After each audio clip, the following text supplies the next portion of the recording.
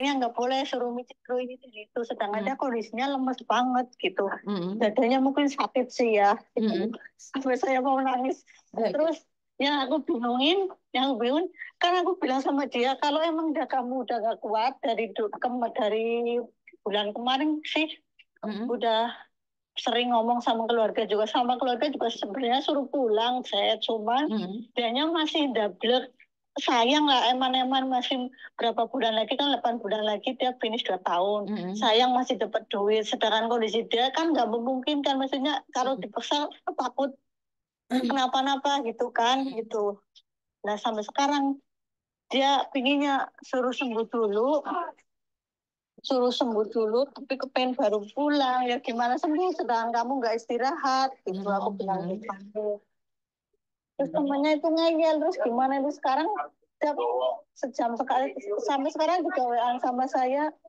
juga katanya sakit ini ini ini, ini itu dan itu sakit lah kamu gimana? Aku suruh komplain ke agen kamu nggak mau jadi ribet. Kamu pingin katanya pingin istirahat sedangkan di rumah kamu nggak bisa istirahat. Itu.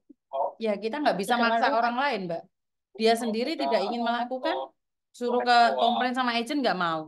Suruh ngebreak nggak mau, suruh pulang nggak mau, suruh kerja nggak mau, katanya sakit. Lah dia maunya apa?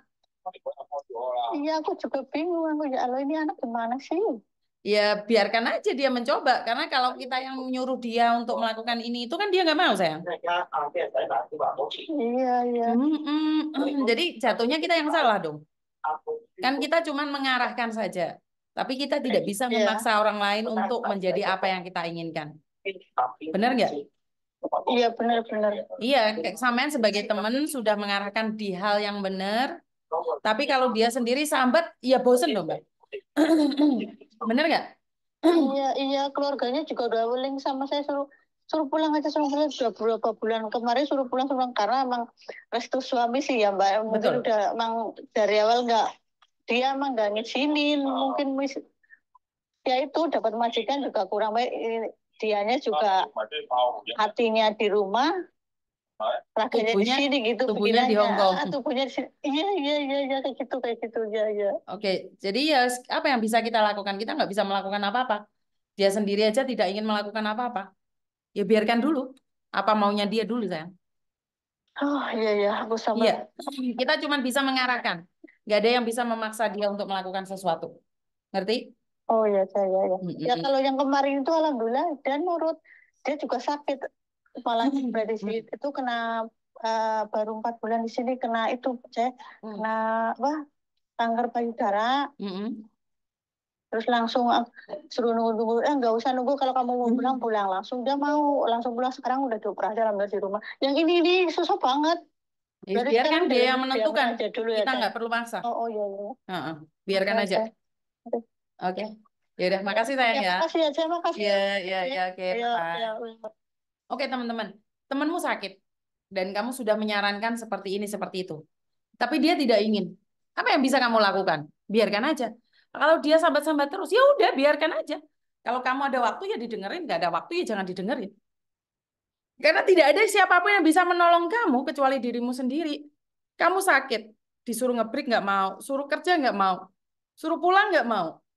Terus apa maumu? Sambat terus. Kita juga punya masalah sendiri, Mbak. Nggak cuma dengerin sambatan kamu aja. Ayo dong, bergerak.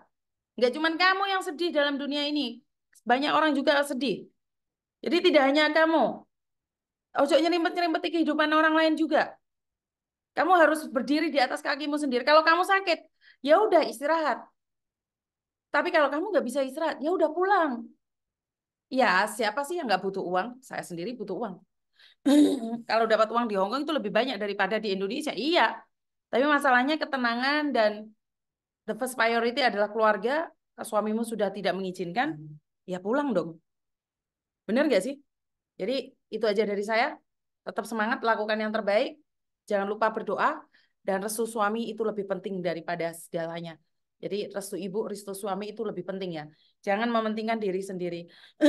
Karena saya pernah melangkah tanpa restu keluarga semuanya semuanya hancur. Jadi tetap lakukan yang terbaik, semangat dan jangan lupa berdoa, bekerja cerdas.